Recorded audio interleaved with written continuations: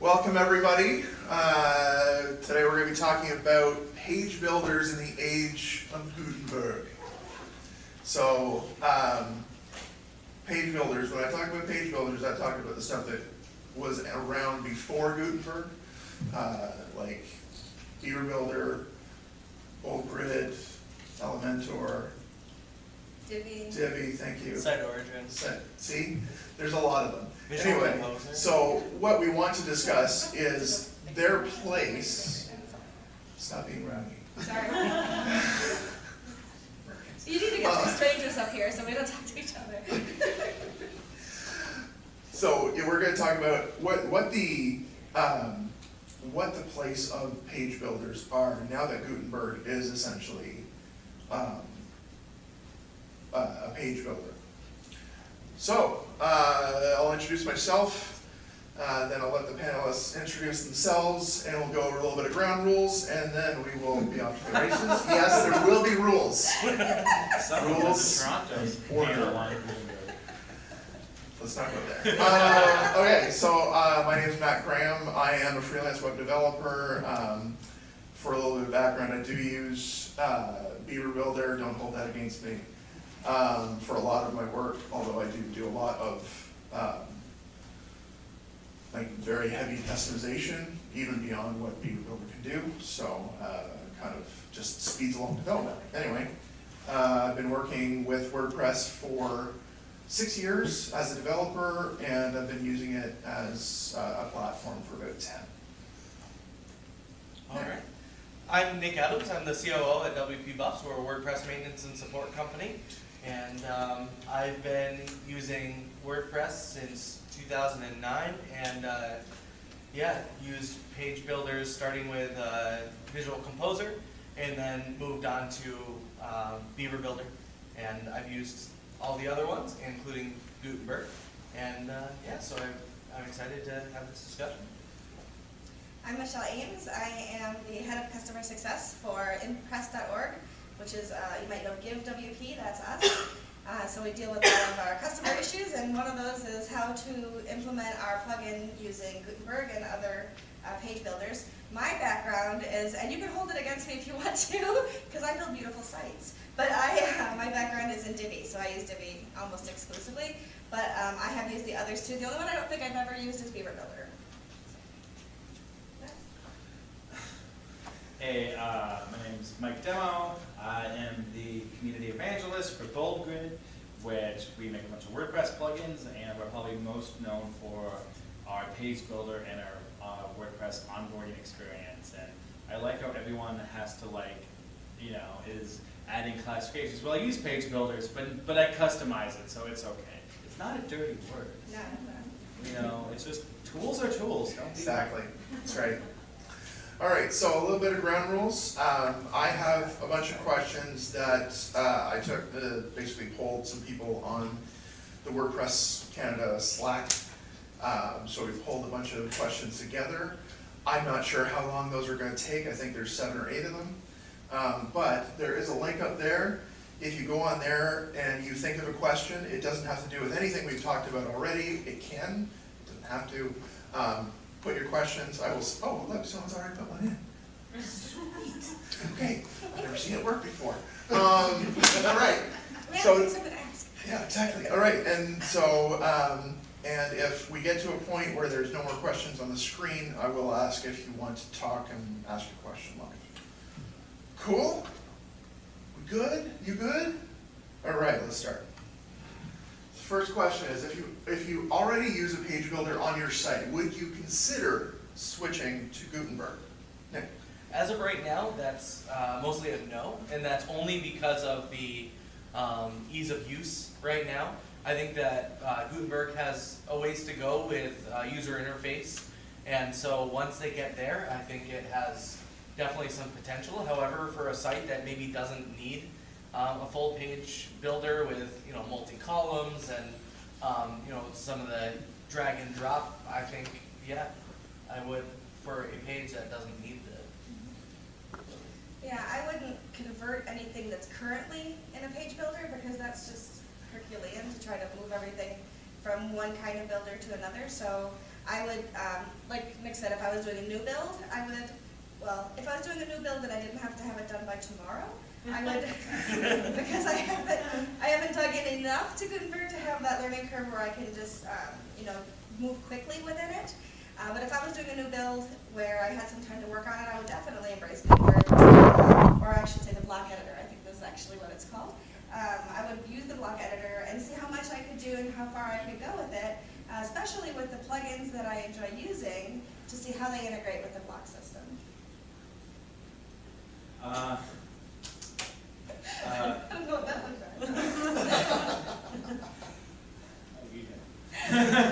Uh, no, um, it's funny, because, yeah, I probably would if I was new to the WordPress community. I look at Gutenberg as I look when, uh, you know, Joomla went from one point five to two point five, and yes, I don't talk about it like a CMS here, but hear me out.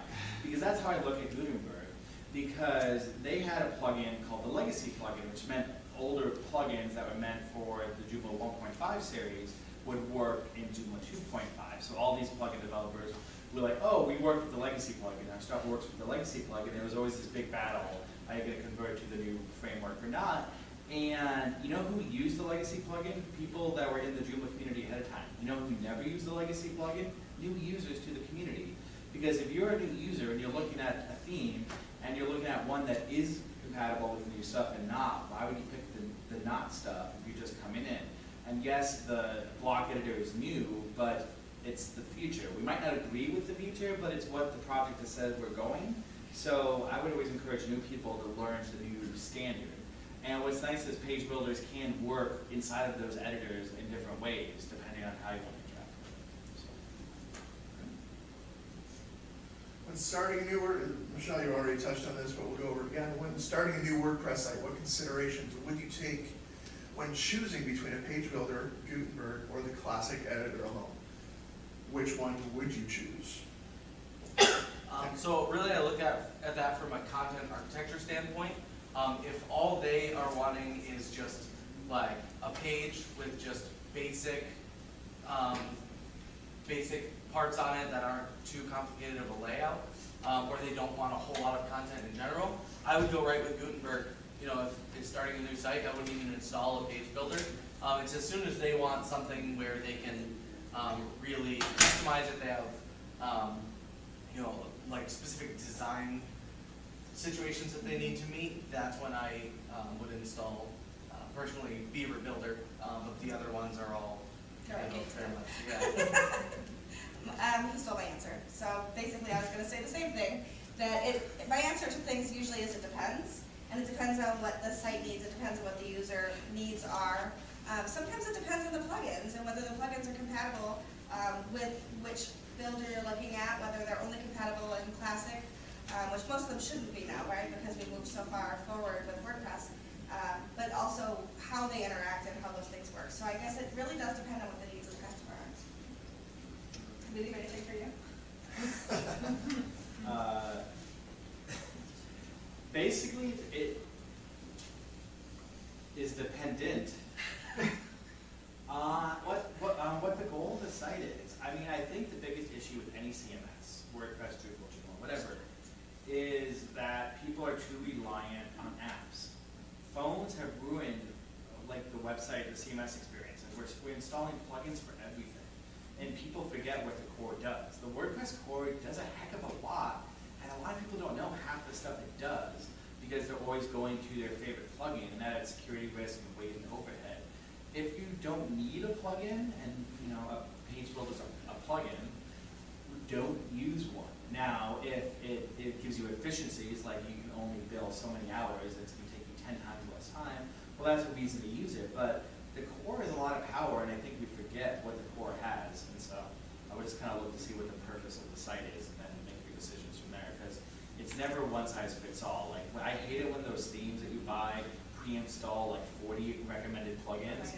Like, I was reviewing for, um, a newspaper, they asked me to write up a write-up on like this business consulting theme, and it came installed with WooCommerce, and it had no theme, it, it, it didn't have any hooks in the WooCommerce at all, but it was just part of the package. And it was like, why? It doesn't need to be there. So be as lean as possible uh, in within reason, and look at the core, because a lot of people forget the core is there for a reason, and it does stuff. yeah. Good. All right, actually, there's- one question here that um, seems to kind of stem a little bit from that. So, a little bit of preamble. In, in my experiences from Amanda, uh, in my experience, it's been tough integrating Divi and Gutenberg. I end up reverting back to the Divi editor due to spacing and overall user experience issues. I want to start using the Benchmark? Oh, it meant to be the bird. Oh, the Berg. Okay, Berg. good. thanks. Sorry. Autocorrect for the win. All right, uh, so the Berg, more on Gutenberg. However, uh, which page builder would you recommend using in conjunction with Gutenberg? Well, let's start with Mike, because I know he's got an answer to that. Uh, yeah, so both are completely compatible with Gutenberg, yay. Um, but so are other ones out there. Here's my stand on BoldGrid, is BoldGrid had blocks before they were cool. You know, we have over half a million block designs. We've had them for two and a half years. And what's nice about us is you can easily flip between the Goots, which that's the shorthand, not the That's verb, the. Goots. Well, The. Goots. You can switch between the Goots, the bold grid editor, which lays on top of that, or the classic editor, and you can make it default for posts or pages or ad, ad hoc. So, um, and some of the other page builders also have Gutenberg compatibility, but nice thing is, most of them are free, so just spin up a bunch of demo sites, and if you need a demo server, you go to boldgrid.com. No, no, seriously, this is true for anything, regardless of what plugin you use, boldgrid.com has free demo servers that you can install anything on, um, and spin it up in less than five seconds, you don't even need to make an account. Um, so if you want, if you, you wanna test a theme or a plugin on the repo, you can just literally click the plugin or the theme and auto installs. So if you wanna just test all the page builders and you don't wanna deal with local environments and you don't wanna spin up stagings on your host, just spin up throwaway accounts that, that you don't care about and just play with them and find one that works for your workflow. Yeah, but it's- For all your demo needs, go to BoldGrid. I. Uh, see, but yeah, seriously, I think that, that, I think most of the plugin ones, like Divi, um, they have their limitations as far as how they interact with Gutenberg, or with the Goots. That's what I call it when I tweet it, by the way. Um, The Goots? Yeah, the Goots. Uh, so it just depends on what you, I always say it depends, it depends on what you need to do and what that particular page needs to do, because there really isn't any reason that you can't use both of them on the same site, depending on, again, page by page, what needs, what you need to accomplish. I have nothing more. All right.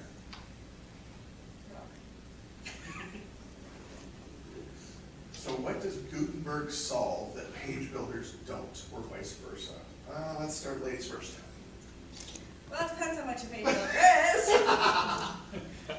But I will say, um, we- if you don't have to, like, was gonna say you don't have to install a plugin for everything, right? Yes. So if you don't need to use a page builder, then you have less bloat. So there's less to worry about working and less that can misfire and one less plugin that has to be updated that could break your site, et cetera, et cetera. So it kind of solves that problem with not having, to- not needing to do that. Um, I haven't played with it enough to know if, as it compares to Divi, if I can get the exact same layouts with Gutenberg that I could with Divi, so I really can't compare that way. But I would say, um, you know, it just depends. It depends, Trigger. That's what I, I mean, I'm known for saying that at my meetup too. Every question is like, well, it depends, It does, it really you know.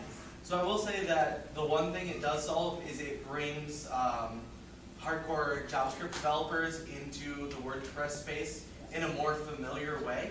Um, whereas a lot of page builders were um, very dependent on PHP still.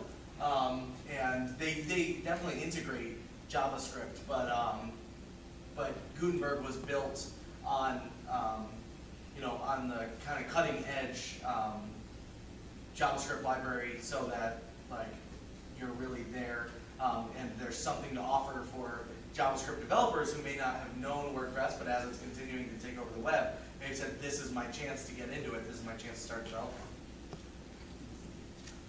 Um, to me, it is the end of shortcodes, and that's the vision, right? And that's, as a plugin developer, that's, that's, that's my dream, because shortcodes are evil.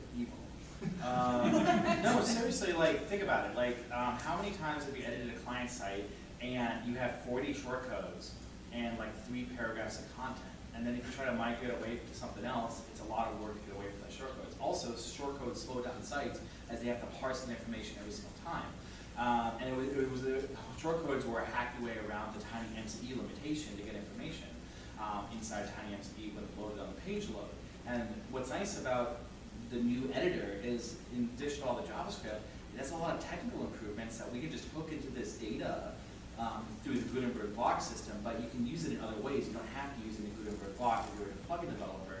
And you, your people can, your clients and your users can see visually what might be in that spot because shortcodes are confusing for a lot of users. It's just like, yeah, don't touch that text, just trust me. And that, at, and I've seen pages with sixty shortcodes on it, and that's just, they have a place for certain situations, but they're being abused right now as just a hacky way to get around the way the classic editor or TinyMCE did it.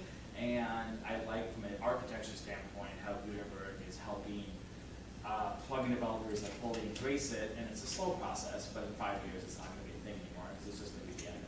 Um, I, I'm excited about that feature, because then we can have a more streamlined.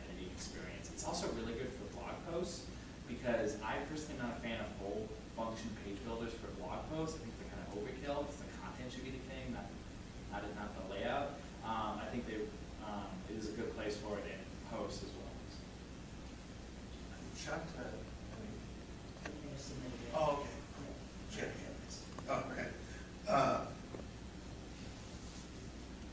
Okay, so the question that Shanta posted was, that is, since it's based on what you said, what does having more JavaScript developers mean for the average user? Um, hopefully it means more options and better options. Um, not that non-JavaScript developers aren't great, but um, it is, I will go on the record as saying that JavaScript is the future of WordPress and it's the future of the web. Um, PHP had its time and it's still going to be used, um, but PHP heavy code is kind of the older way. Um, and now that we've got things like JSON and React and all this beautiful stuff that we can do with JavaScript, um, we're going to start seeing faster, um, more uh, cross cross device um, options out there. And really, what it means for everyone is that if we have um, you know people who otherwise would have been off doing something um, on Django or something like that, who are saying like, oh, you know what, like I want to get into this. Um, you know, they're going to start creating really awesome blocks, and um, and the code standards out there are sometimes better, not always better than the WordPress space, but we've also seen the spaghetti code of WordPress, whereas we're seeing people with really like strong, like coming from rigid, uh, rigid programs, uh, software things out there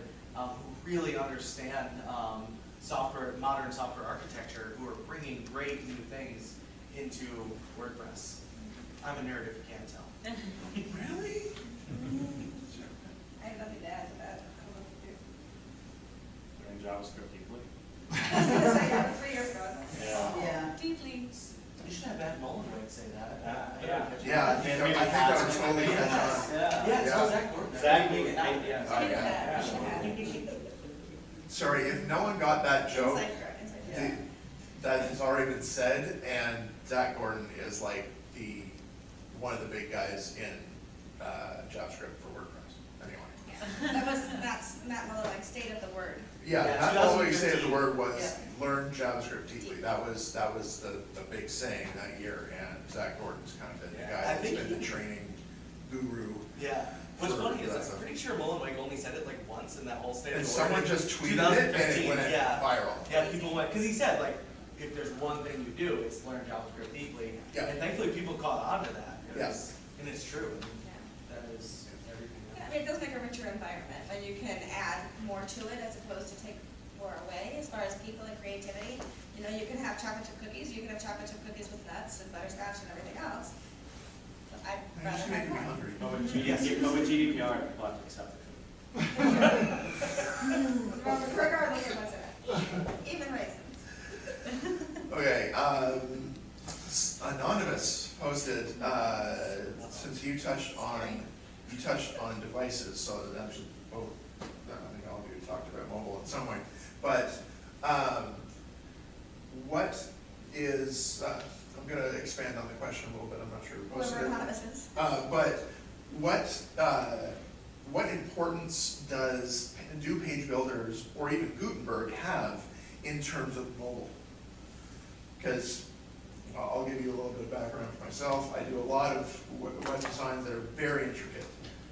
And they always design for desktop. And then it gets shrunk down to mobile, and it's like, that doesn't look You gotta tell me what you want with it. So, uh, I have my opinion, um, you know what, I'll get mine, I'm not supposed to be the MC, but I'm gonna, I'm, I'm gonna let the Canadian talk for a minute. Um, Sorry, was, um, so, uh, as I said, I get a lot of designs that are very intricate, and on mobile, they just don't think about what that looks like. And I mean, nine times out of ten, no matter whether you're using a page builder or any kind of, uh, display framework, like Bootstrap, or, what's the other big one that I keep forgetting the name of, what? Foundation. Foundation, thank you. Um, they all work on a grid that when you go to mobile, by default, just gets stacked. And that may be fine if it's just text content, no problem. But when you're talking about images that are supposed to, you know, meld together in some way, and you put them like that, it's like, no, it doesn't work anymore. Um, so when it comes to page builders, it doesn't really matter, because page builders are supposed to be a nice, easy way of doing multiple columns and, you know, intricate layouts that don't work on mobile. Um, where Gutenberg, I think, really shines is the fact that it's just, it's, it's, it, it's not, um, by default, it's not like a layout thing, it's more of a different piece of content thing. And stacking it makes sense. That's my two, my two cents. So who wants to start? Or take over? Of course. Yeah, sure. Um, first off, um, some page builders do have mobile responsive views. Um, like in our version of the editor, which is just built on TinyMCE. you can choose between tablet, desktop, and mobile and see that in your editor. But um, I think it goes back to a different point is that, you know, a lot of people are stuck with like that bootstrap or grid mentality where it goes a single column where, you know, if you're designing, you need to think about the user experience and how they're interacting with your content and who the user is. Um, I was talking to someone who was designing for, know, third world mobile devices, like screen, like not even smartphones, just like old phones, and the, the page was fifty megs. And that have lowered on a two G connection, period. Um, so you need to think about not just visually, but kind of what the user experience is.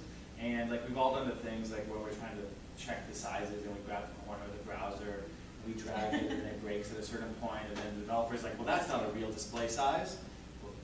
Yes, it is, look, it's here on my screen. Yeah, but no device has that size. Yes, it does, right here on my screen. So, um, you have to just think about what the user experience is at the beginning and not try to shoehorn in mobile at the end. Um, when we were doing agency work, we were focused on the experience, and we did that by writing story points on what is the goal of this project and try to fulfill that goal. And there's ways you can kind of cheat it, like you can hide and display certain blocks on certain display sizes to make the content not completely big, but, um, uh, I read that question as something different, how does it change, in my mind, it was how does it change the editing experience, is what I heard when that question was read.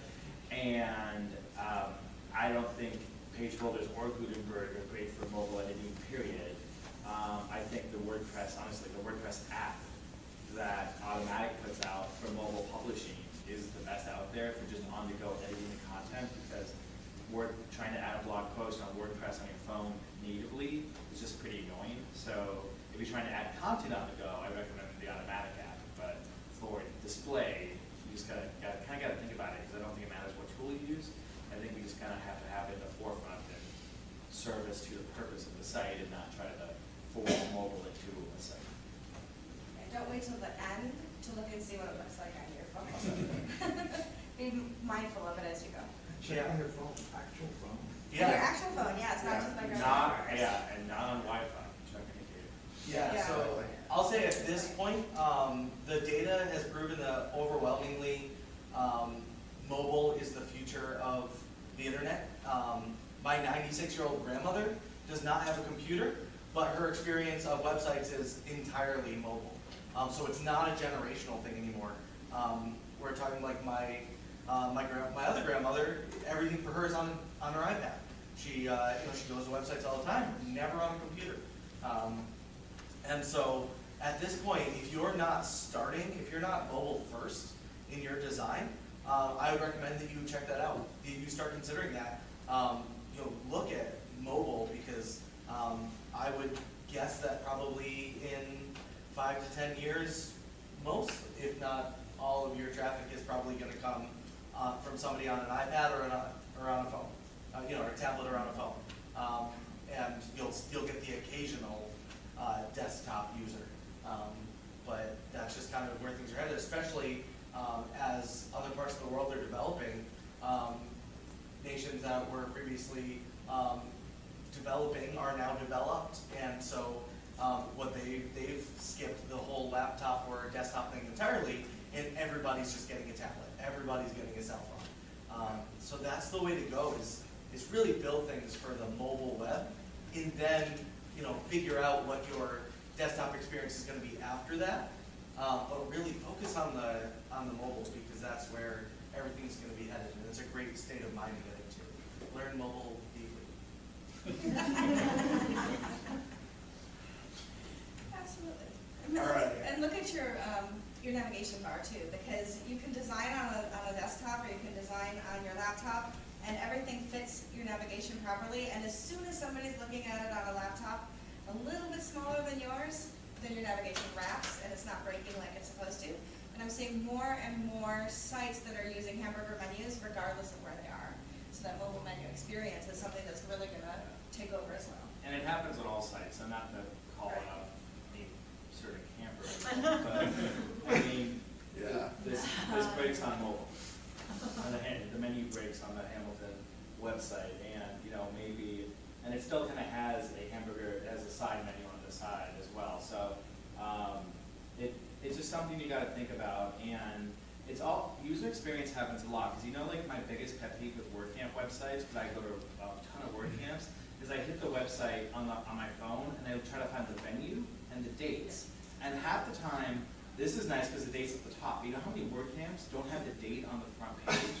Um, and you know how many, and the majority of camps don't list the address, don't list the address of where the camp is, like, and that is going back to user experience. How are people gonna be interacting with this content? And they're interacting different, because on the mobile phone, they probably need to find the session information, the location, the times, and that's what they need now, which might be different than desktop, which may be spon, you know, may wanna read about the sponsors or things like that. And if you're building a site for, I know we're getting off track a tiny bit, but if you're building a site for a brick and mortar, like a restaurant or a store, then having phone numbers and hours of operation on the homepage is super important as well, so. Yeah, absolutely. All right, next question. Why would a user want to use both the page builder and Gutenberg on the same site? We touched on this a little bit. Um, Because it depends on the. Exactly, it depends. We're not talking about the diaper. Um, yet, anyway. not yet anyway, sorry, I was, insensitive. Um, no, I mean, uh, uh, I'll step in a little bit too. Um, when it, uh, I think it was Nick that you said, like, when it comes to a blog post, or was it? No, it's demo. That's demo, sorry. I'm getting everyone confused. Um, no, when it comes to a blog post, you don't want to have, uh, really intricate designs. It's, it's about the content. Um, yeah, the page, a, a page is, uh, is more static, uh, can have lots of different information on it, but usually a post is, is, is kind of focused on one subject, and it's focused on the content, not about what it looks like, you know, you're not trying to wow people with, with the design, you're trying to wow people with what they're reading. That's mine. Okay, Uh, let's go Nick, because he hasn't started in a while. Um, I actually, um, you know, even though we kind of already answered this, the one thing I will say is, um, I think it all depends on the individual, the content of the individual page or post. Because I've seen great things where people have blog posts, including like New York Times has done an amazing job with their long-form blog posts that just have fantastic like CSS three transitions um, and all sorts of stuff um, that really just kind of gets you drawn into the content and it almost you get like a, an emotional response to what they're building. You get excited as things kind of like ease in and um, so really just look at what your goal is. Um, I always recommend um, planning things out. Uh, Shanta will tell you, uh, post-it note as you as you build. Um, you know, it's all about the planning, and so look at it and say, what's the right option? Because it's never going to be a one-size-fits-all for anybody.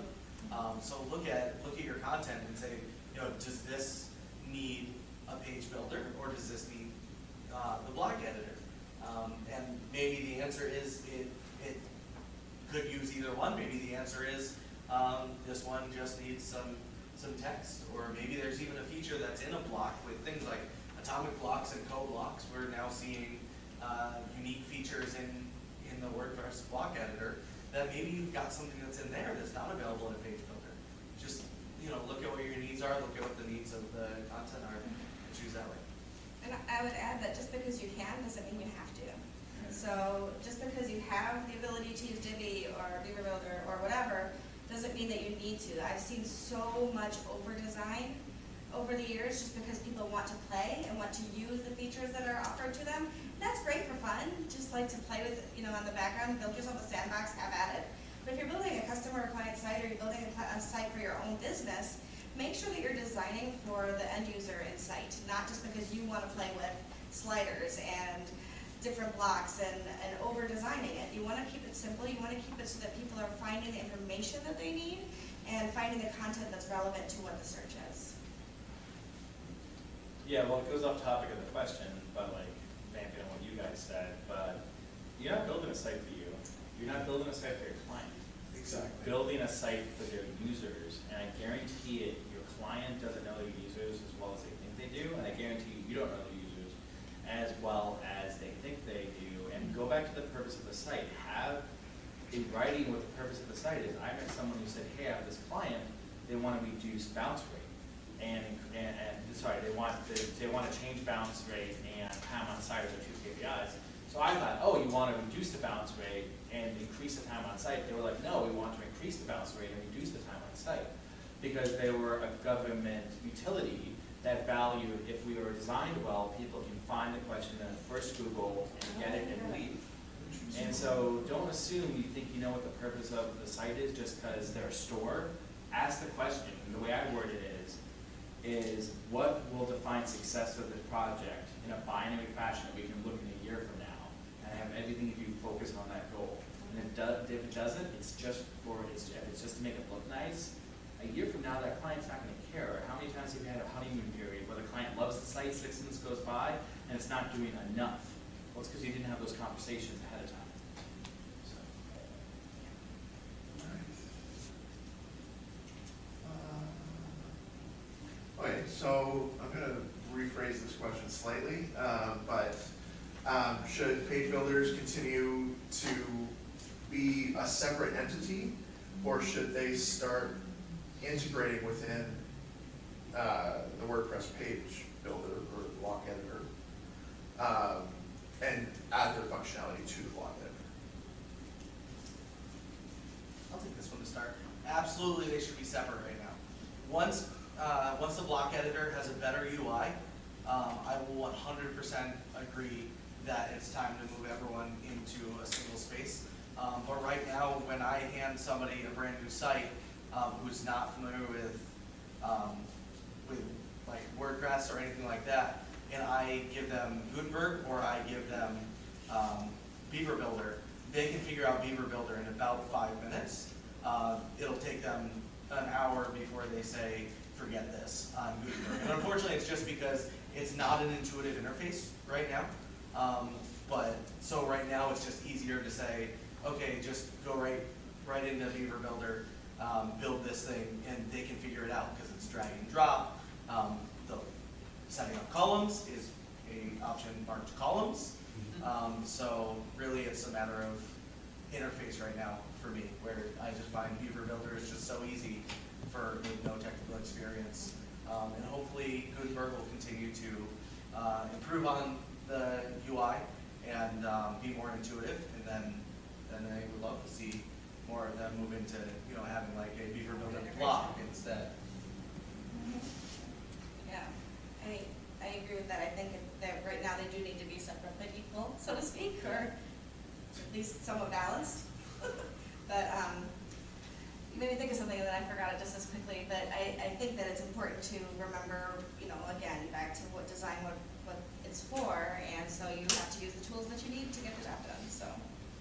If it doesn't do it right now, the other thing I remember I was gonna say, so I was on Reddit in the WordPress subreddit, and I saw somebody ask a question about what were your thoughts on Gutenberg, and I said, I don't have a problem with Gutenberg, I just wish that there were lines around the blocks so that you could visually see them better without hovering over them, so you had a better visual outlay of what you're doing. And somebody's response was, oh, there's a plugin for that, and I thought, there shouldn't be a plugin to make your, to- so that you can use your editor better. And so until they are, you know, make it more intuitive and make it easier to use that way, I don't wanna be adding plugins so that people can use the editor. So, um, so yeah, so I, I still agree that they should stay separate for now. It depends. I love it. Way to take our stance. Yeah. Oh, yeah. No, the thing I love about open source is you, that things can live separately and it's fine or together. There's no, you can't force page builders to be inside the editor. Even if it was like, there was a hard stance rule, like, you know, when the customizer first came out, gotta use the customizer, blah, blah, blah, don't have your own ad. There are still themes in the repo that don't use the customizer today, and even if they take them out of the repo, these products can exist because it's, WordPress is an open ecosystem. And the market is gonna dictate where the direction should go, and the invisible hand is gonna become visible. And I think intuition and good design and good user experience is gonna win out. If that ends up in Gutenberg and in the, in the block editor, great. If that ends up in something else, great. The thing I will say though is that third-party plugins can always move faster on user experience than the core WordPress. I mean, we, at BoldGrid, three years ago, had features that WordPress introduced, to, you know, a year and a half ago, that we had in our core. People are like, oh, they stole your features. I'm like, no, good ideas are good ideas. And they were just, they were simple, generalized user experience things, like the customizer and things like that. Um, so like, for example, one of the things BoldGrid does is we rename posts to blog posts when you install our plugin. And it drives a lot of classic WordPress people crazy. You can turn it off with a checkbox, don't worry. But here's the thing is, what's the most common question? We asked hundreds of posts. What's the most common question you get in support center? What is the difference between posts and pages? Right, so one word can make a difference. That's our state, and we think eventually that's gonna, that's gonna win out. So I don't think it needs to be one or the other, just let people innovate, and the market's gonna decide where it goes. Uh, we are running out of time, so I'm gonna ask one more question. What is the better condiment, ketchup or salsa?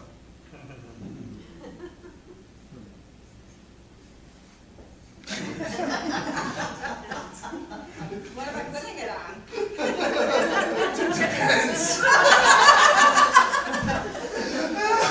I mean, if it's a. Okay, how about, okay, let's, let's back it up, on a burger. Oh, ketchup. Sriracha. Yeah. Wasn't even a choice. if you go- I'm a mayo chup person. Mayonnaise and ketchup. I like that too. Okay. I'm Celtic. Americans. It's good. Very good. Well, thank you very much, everyone. Uh, is, uh, before we wrap up, uh, I can take maybe one short question, if anyone has anything. Yeah. So one of the benefits, I like of Divi, is you can show clients the pre-made layouts and decide on their style and use that and save a lot of time and fonts and all that. But I haven't seen anything like that in Gutenberg, like I feel like I'd be building a whole page. Unless there is pre-made layouts. Well, that's what blocks are. Blocks are intended to be layouts. So like right now, Gutenberg blocks are very singular, like a single thing. But they can be full designs, and they are in some cases. And you can get Gutenberg blocks that have like full with testimonials. So I know people that use like our block library as an example um, and they can drag a forward testimonial and a three column, and they built the whole site with our pre-made layouts very similar to Divi. And that they do exist for Gutenberg core, you just have to, the problem is you have to hunt around for them. I think the biggest thing that can, that we can do is have a block repo, where you can search for blocks inside the editor instead of having to, because now you have all these plugins that are like, buy my plugin, I'll give you five hundred blocks, or buy my plugin, I'll give you a thousand blocks. And that's just adding more weight for something that should be native. So you can do it, but you have to like search for all of these things, and that's the challenge. You're talking about the templates though, right? That they have. Yeah, like the templates, so you can Yeah. see different I styles. mean, there are, there are, there are good, like, tem- Gutenberg templates that as well. Yeah. Okay. Yeah. They, Are they just not as one good spot though? We, no. I just um, aren't. These specific ones are is because they're all owned by right, Empathy, right, so that's why they're all in one place and easier to find. yeah. Like all of ours in one place, all of ours right, in one exactly. place. That's why it'd be nice to have a block. I agree. Anyone else? All right. Well, thank you to the panelists. Thank you all.